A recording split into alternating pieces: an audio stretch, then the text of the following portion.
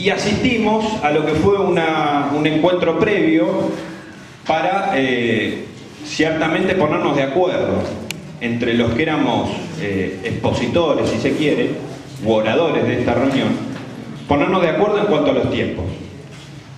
Fue recién en ese momento que nos enteramos que la invitación que se le había hecho a la empresa, eh, ellos la habían desestimado, no venían, entendían que no... Bueno, tendrán sus razones, no voy a hablar por ello. Eh, a todo esto nosotros, como propuesta, se nos dice que se va a continuar con este, esta reunión, a lo cual nosotros festejamos, insisto, celebramos de que existe este espacio hoy, eh, pero había que modificar algunas cositas. Algunas de las cositas fueron los invitados que vinieron. El señor de, Fernando Bravo, que está acá todavía, y el señor Winkler, era el otro. Y posiblemente la intendenta municipal, Brunita.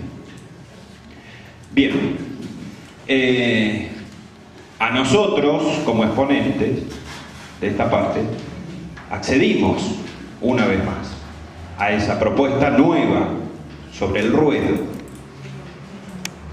Hoy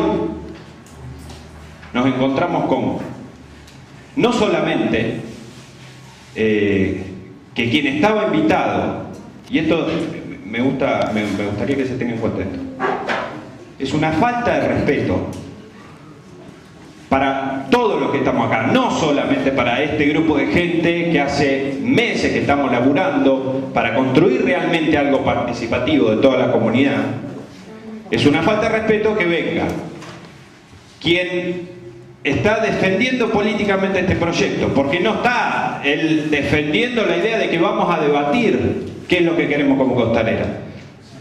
Porque el proyecto de declaración habla del proyecto Marina Lago Laca.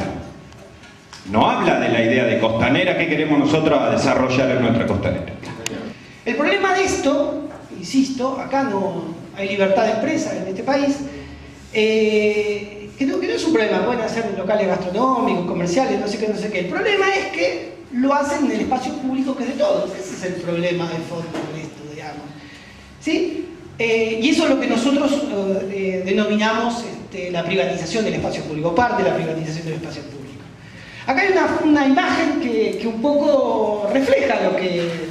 Este gráfico explica un poco lo que estamos, ejemplifica, no sé lo que quieran decir, lo que estamos diciendo. Nuestro debate o el debate en la sociedad está girando sobre acá, en lo que vemos, en la superficie, en la marina náutica sí, marina náutica no. En realidad hay otro debate soterrado que no se ve oculto, oculto, ¿sí? que es otro, que es todas estas instalaciones, espacios comerciales, restaurante de 80 eh, cubiertos, eh, clubhouse, bar de 80 cubiertos, restaurante de 100. Bueno, es ese es el debate que está encubierto y que no se habla. Y seguimos entretenidos en este, en el de la Marina Náutica, sí, que va a tener barquitos. No sé. ¿Se entiende? Este es un debate que está oculto y es un debate que me parece que hay que también aflorarlo y por eso rescato luego, te voy a sacar la frase, Manolo.